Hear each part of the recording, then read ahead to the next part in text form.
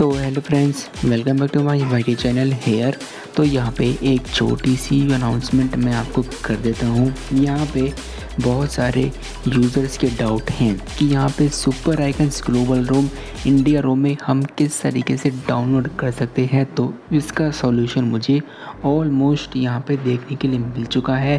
तो अब अब आप यहाँ पे मी वाई फोर्टीन ग्लोबल में इंडिया में सुपर आइकन्स का यूज़ कर सकते हैं। आपको यहाँ पे कौन कौन से स्टेप्स फॉलो करने हैं?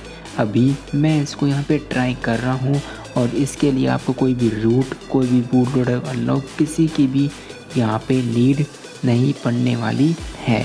तो आप सिंपली थोड़ा सा वेट और कीजिए। जब भी इसके ऊपर यहाँ पे पूरी की पूरी टेस्टिंग कंप्लीट हो जाएगी, इसके रिगार्डिंग मैं पोस्ट अपने टेलीग्राम चैनल पे पोस्ट कर दूँगा तो टेलीग्राम चैनल भी ज्वाइन कर लेना।